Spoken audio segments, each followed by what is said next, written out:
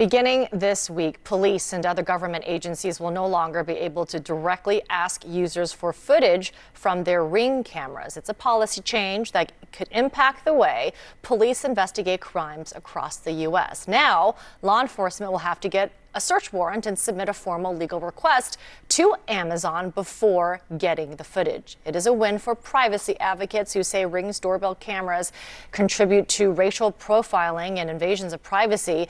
They point out that hundreds of law enforcement agencies have struck up partnerships with Ring.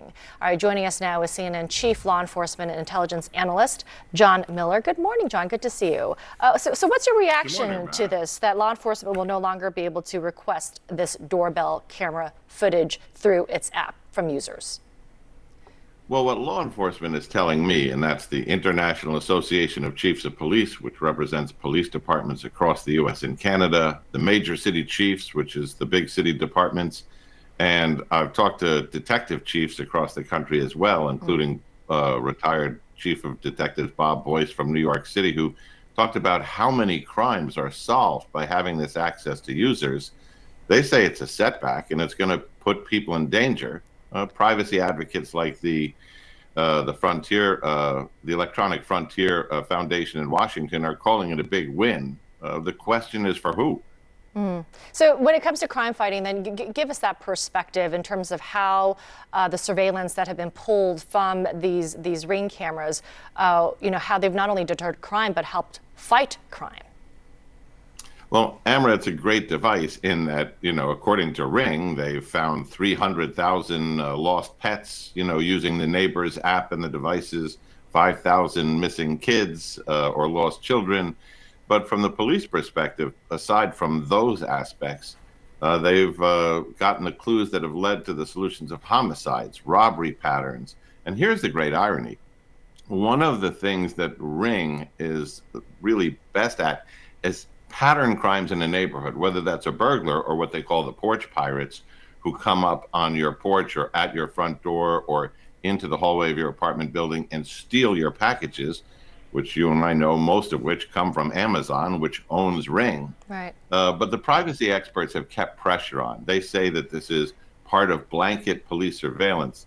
The important thing to note is that to go into the Neighbors app, you have to opt in to receive the police request for assistance about a crime pattern and to see if your video has anything useful to solve that. You can opt out of the program. You can even opt out of receiving the requests. So Amazon has taken that away from their customers.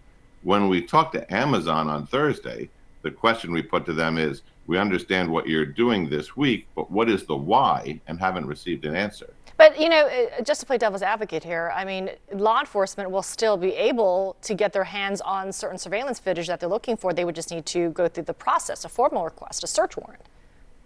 Right. So that is really interesting in terms of the process, Amara, because to get so what what Amazon is saying is go through legal process. Right. What the privacy experts are saying is if police come to your door and say there's a pattern of robberies or assaults in your neighborhood, do you have anything useful on your camera? What you're supposed to say is no and come back with a search warrant.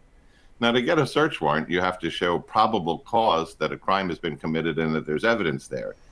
The fact is, no court is going to issue a search warrant to blanketly look at cameras in a neighborhood unless you can show that you believe or that you know that that image is on their camera. Mm. So this means do you then, instead of a search warrant, do you get a subpoena for a ring doorbell? Either way, if this is a crime that's part of a pattern or a crime that's happening right now, it really removes a lot of the urgency from using the ability to reach out to 10 million ring users, but more importantly, to that geographic area where the crimes are occurring and saying, this is happening right within your neighborhood. This is in the neighbors app. These are the people who opted in. You've now taken away their ability to say, we want to help stop this crime. Yeah. Both sides uh, raise uh, very fair points. John Miller, thanks for breaking that down for us. Appreciate it.